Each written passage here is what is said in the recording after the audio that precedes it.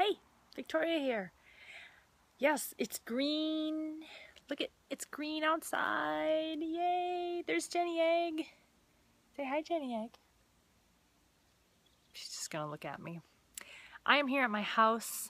Um, I thought I would give you a little tour of my home studio. I thought that might be fun. You're used to seeing uh, my walls in my home studio or my work studio, and now I have I mean, I've had this space, um, but it's not as grand as uh, my spaces that I have in the city.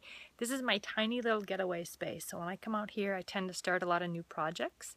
And this is what else I do. Did you see that? I hope so. My toes are in the grass. It's the best thing in the whole world. So here we are. That room is my studio right there. And that's my view that I get to have when I'm in my studio and I'm outside playing in my fabric, sometimes on this deck. I bring my sewing machine out here sometimes and I sit and I sew and bring my cozy chair, put my feet up, have my coffee and bagel in the morning. Thumbs up, big thumbs up. So here's my studio. Warn you, it's a mess and that's totally okay. I have been working on several little projects, playing around with some things, so let me show you what I have here.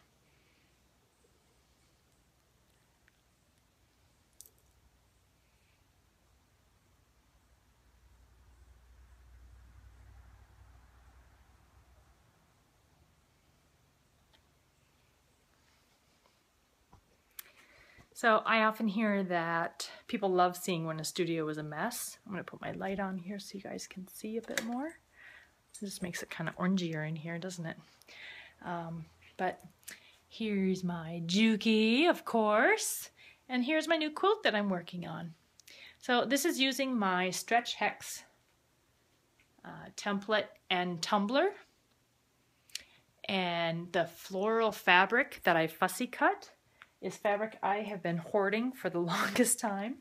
It is Paula Prass's fabric that I just love, and I've been waiting for inspiration to tell me what I was going to do. So today was the day, except my problem is I don't have a lot of stash here.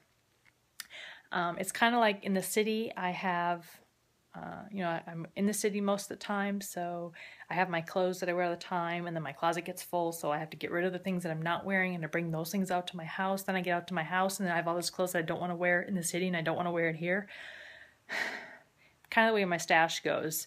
So fabrics that I've had in my stash for years uh, come out here, so which kind of leaves me with a very odd uh, collection of fabrics, and that's sometimes it's a good thing, sometimes it's not, but ultimately, I have all of this. Scraps. Look at all that scraps. So that's where I do most of my playing and having fun. If you remember the Strings of Florid Blooms quilt that I made not too long ago, I did a floral version of it. All of those fabrics came out of my scrap bins. So scraps to me are anything that's small, slightly smaller than a fat quarter because it won't fold up nice and fit back on my shelves. Uh, you've seen my shelves, how I store everything. I fold it in funky piles like this. And even though those are not on the shelves where they belong, I am trying to get this place cleaned up. So that's kind of what I have here. I have a sink in here because this used to be my painting studio and it's become my sewing studio. I have all my little gadgety, cute little things that I've collected over the years on my shelves with some fabric. I have an old dining table that I designed that is now my sewing table, which is kind of really great. I have my husband's old desk, which is my cutting table, and I have this retro table that also used to be in our house before we uh, before we renovated. So, you know, I use what I have. It's nothing fancy, and but it gets a job done.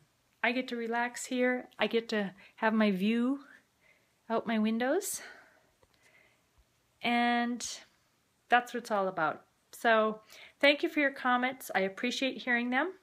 And I love hearing, you know, if you have questions, I love to hear ideas and what you want to see. I can't always post the things that I'm working on because it might be for something that's going to come out later that I that's just kind of the way the ball bounces. But I have some small projects here that I'm working on that I'm going to take with this summer when we leave for Texas next Saturday in one week.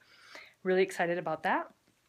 And so um, you know I try to show what I can. I have a project that I'm working on for myself it's not exactly a quilt but I am quilting it and that uh, I should have that post up in a couple days I want to do a little bit more work on it and that's kind of cool. I'm excited about that. So hopefully I'll see some of you in Texas. Check my schedule. I'll post where I'm going to be. And uh, I'm going to go put my toes back in the grass. So I'll talk to you guys later. Bye.